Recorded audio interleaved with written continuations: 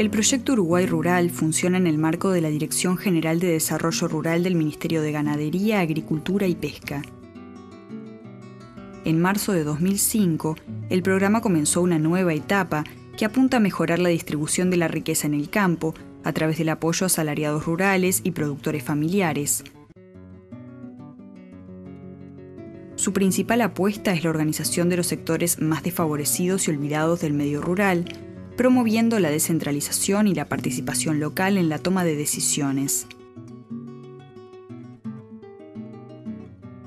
El proyecto también coordina con otras dependencias del Estado involucradas en el desarrollo rural. Luego de tres años de experiencia acumulada, creemos importante comenzar a compartir algunos procesos. Tal es el caso de La Hilera, un pequeño centro poblado ubicado en el sureste de la ciudad de Tacuarembó, sobre la Ruta 59. La hilera tiene una población estable de 160 personas, 108 son adultos y el resto son niños y adolescentes.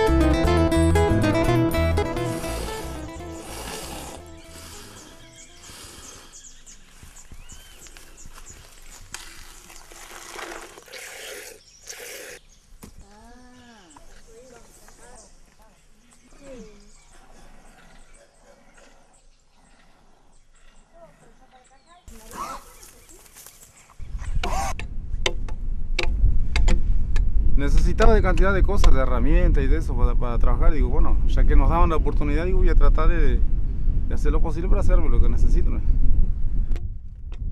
Y hoy estoy trabajando con, mis hijos, que, eso es lo que yo quería más, de, tener, de montar una empresa para tener para trabajar.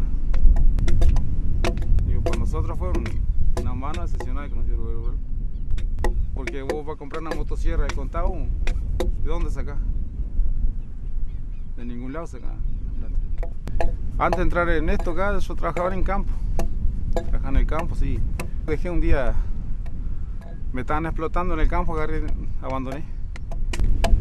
En el grupo nuestro nomás,